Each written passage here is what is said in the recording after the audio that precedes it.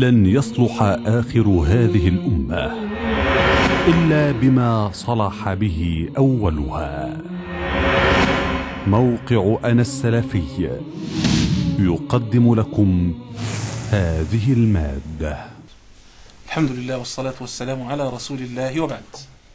من كتاب الشامل في فقه الخطيب والخطبة لفضيلة الشيخ سعود الشريب آه، نقف اليوم بإذن الله تبارك وتعالى أيضا على مسألة جديدة مما يتعلق بالخطيب وفقه الخطيب وهي آه، محذور أيضا من المحاذير آه، التي ينبغي على الخطيب أن يتجنبها وهي الوقوع في العجب وحب الشهرة.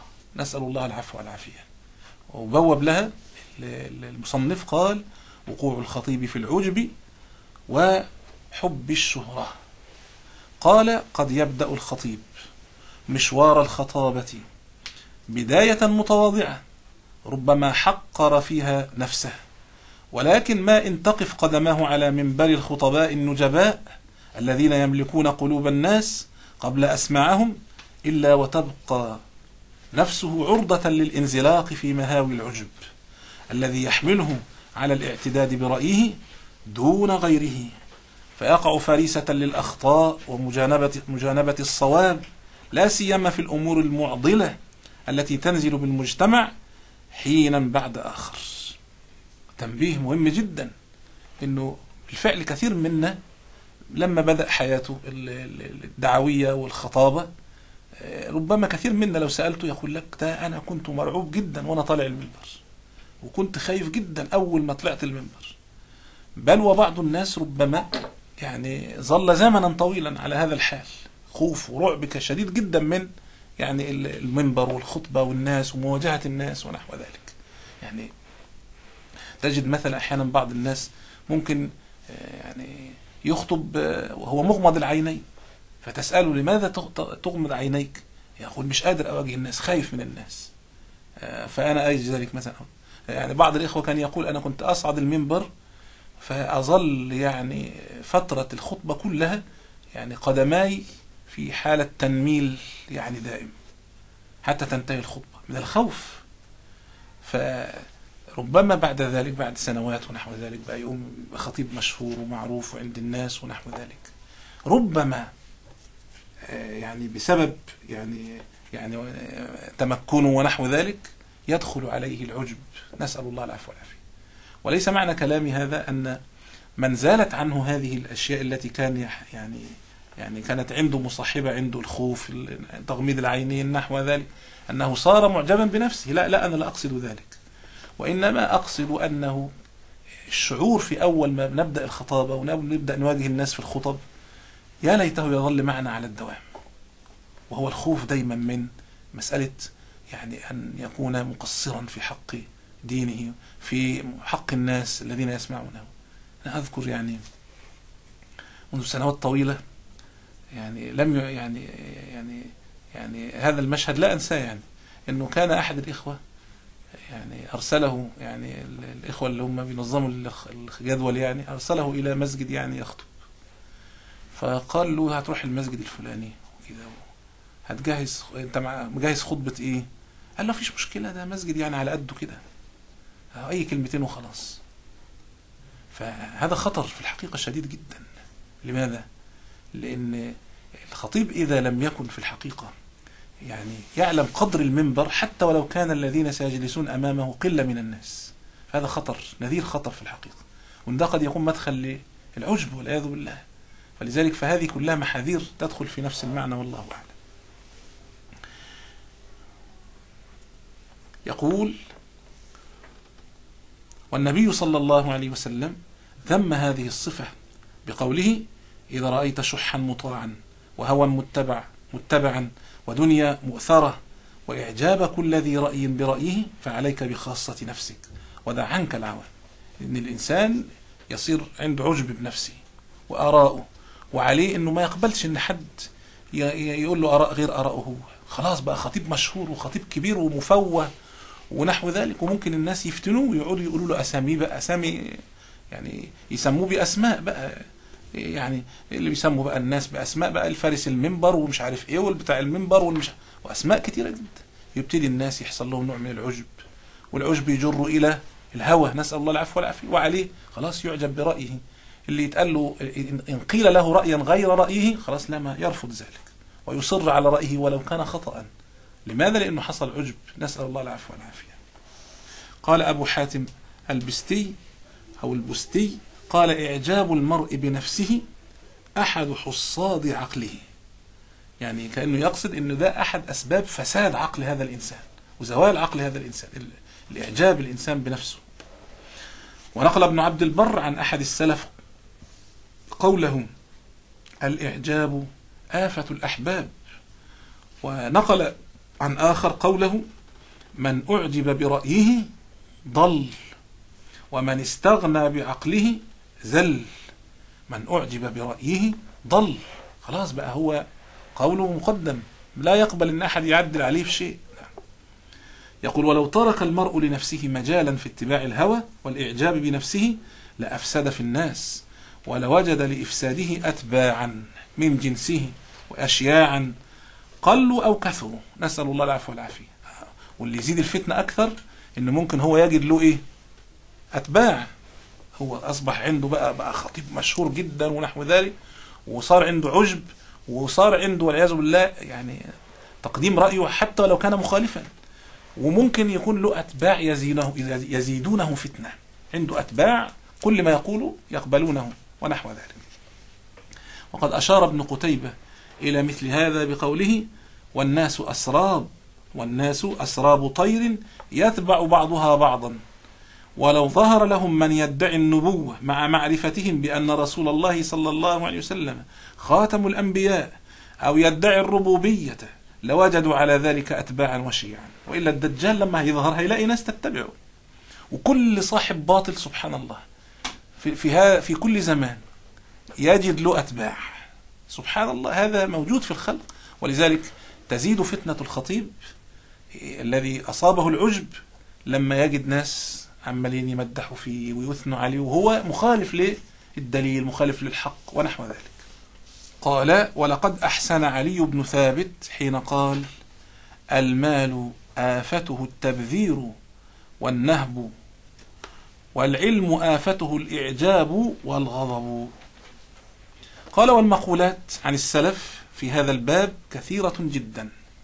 قد يطول بنا حصرها قد يطول بنا حصرها لأن إحنا لو قعدنا نحصي كلام السلف في التحذير من العجب وخصوصا في حق يعني الدعاة إلى الله سبحانه وتعالى والخطباء ونحو ذلك كثير جدا. طيب هنا يأتي سؤال وهو ما العلاج؟ يعني إذا الإنسان دخل عليه شيء من ذلك الخطيب دخل عليه شيء من ذلك عجب ونحو ذلك أدى به إلى يعني تقديم رأيه على الحق ونحو ذلك. قال غير أن أحسن ما يداوي المعجب بنفسه نفسه هو أن ينظر إلى من فوقه علما وتواضعا من سلفنا الصالح وعلمائنا الكرام ممن قال الله عنهم نرفع درجات من نشاء وفوق كل ذي علم عليم. يبقى الواحد منا لو أصابه شيء من ذلك أو استشعر أنه أصابه شيء من ذلك شيئا من ذلك العجب ونحو ذلك والشهرة ونحو ذلك هذا الأمر من وسائل علاجه أن ينظر إلى العلماء الأكابر الأفاضل المشهود لهم فيرى فيهم التواضع يرى فيهم الرجوع إلى الحق والدليل وعدم التمسك بالرأي ولو كان مخالفا ونحو ذلك يرى فيهم هذا فينظر إليهم فيتواضع عند ذلك. ولذلك لو إحنا نزلنا كده على مثلا يعني الواقع كده نقول الواحد فينا لو حصل من منه شيء من العجب من ذلك ينظر إلى بعض المشايخ الأفاضل أصحاب التواضع أصحاب الخلق يعني الطيب والعلم العالي وفي ذات الوقت ليس عندهم كل هذا العجب الذي ربما يصاب به بعضنا. يقول ومعلوم أن باب الشهرة باب غامض كما قال سفيان الثوري إياك أن تكون ممن يحب أن يعمل بقوله أو ينشر قوله أو يسمع قوله وإياك وحب الشهرة فإن الرجل يكون حب الشهرة أحب إليه من الذهب والفضة. وهو باب غامض لا يبصره إلا البصير من العلماء السماسرة. يعني وخصوصا في هذا الزمان في الحقيقة اللي إحنا فيه الآن ده. زمان بقى الوسائل الاتصالات الحديثة والشهرة بقت مسألة يعني من الفتن التي يفتن بها الخلق جميعا. نسأل الله العفو والعافية. قال الشاعر من شاء عيشا هنيا يستفيد به في دينه ثم في دنياه إقبالا فلينظرن إلى من فوقه أدبا ولينظرن إلى من دونه مالا وقد نقل ابن مفلح عن الفضيل أنه قال من أحب أن يذكر لم يذكر. ومن كره أن يذكر ذكر. سبحان الله اللي بيسعى للشهرة سبحان الله العظيم. ما تأتي أبدا. وسبحان الله الذي لا يسعى لذلك سبحان الله الله عز وجل يجعل له القبول في الناس والناس يعني يحبونه ويعرف في الناس. لماذا؟ لأنه لم يسعى إلى ذلك. والتجارب والله يا أخوانا نسأل الله سبحانه وتعالى يعافينا ويعافيكم. تجارب في حياتنا كثيرة جدا. نجد هذه هذا المثال. إن نجد كثير منا عندما يسعى للشهرة سبحان الله العظيم ربنا سبحانه وتعالى لا يقدر له أي أسباب أبدا لهذه الشهرة. وكثير من الناس سبحان الله رأيناه لا ينظر إلى ذلك ولا يلتفت إلى ذلك. الله عز وجل يجعل له الذكر في الناس يزيد ويعلو في الناس قدره. سبحان الله العظيم.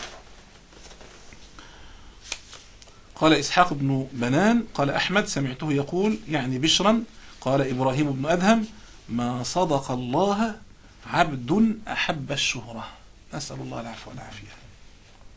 وقال المروزي سمعت أبا عبد الله يقول من بلي بالشهرة لم يؤمن أن يفتنوه. لم يأمن أن يفتنوه. من بلي بالشهرة لم يأمن أن يفتنوه. يعني مين اللي هيفتنوه؟ الناس, الناس. يعني اللي ابتلي بحب الشهرة لم يأمن على نفسه إن الناس يعملوا فيه هيفتنوه نسأل الله العفو والعافية. وذكر ابن المبارك عن مطرف ابن عبد الله بن الشخير. قال لأن أبيت لأن أبيت نائما وأصبح نادما. أحب إلي من أن أبيت قائما فأصبح معجبا. كلام في الحقيقة رائع جدا. قال لأن أبيت نائما. يعني ما بصليش الليل ولا قوم الليل ولا حاجة. وأصبح نادما. أصبح وأنا حاسس بالتقصير وحاسس ب يعني إن يعني إن ما كان ينبغي لي أن أنام وحاسس بالذنب زي ما بيقولوا كده. أحب إلي من أن أبيت قائما فأصبح معجبا. لا ده أنا أنام طول الليل وما صليتش ليل ولا حاجة وأصبح الصبح ندمان إن أنا وحاسس بتقصير. حالي هذا أفضل من حالي إذا قمت الليل ثم أصبحت معجبا بذلك. هذا والعياذ بالله غير مقبول العمل. نسأل الله العفو والعافية. يقول وقد خطب منذر بن سعيد البلوطي يوما فأعجبته نفسه فقال حتى متى؟ أعظ الناس ولا أتعظ وأزجر ولا أزدجر أدل على الطريقة المستدلين وأبقى مقيما مع الحائرين. كلا إن هذا لهو البلاء المبين. اللهم فرغبني لما خلقتني له ولا تشغلني بما تكفلت تكفلت لي به. اللهم فرغبني لما خلقتني له وهو ماذا؟ العبادة والطاعة. ولا تشغلني بما تكفلت لي به وهو الأجر. الأجر. هو يقصد ماذا؟ إنه مسألة العجب دي هتجر إنه هيلتمس الأجر من من؟ الناس. من الناس. ولذلك يدعو الله أن يجعل الأجر منه هو ولا أن ينتظر الأجر من الناس. يقول وتحدث الشيخ محمد رشيد رضا موصيا الخطيب بقوله وإياه أن يأخذه الغرور والمكانة وارتفاع الدرجة. أو يغلبه الرياء والتطلع للثناء فإن ذلك مرض الواعظ القاض القاضي على سلطانها. المانع من تأثيرها.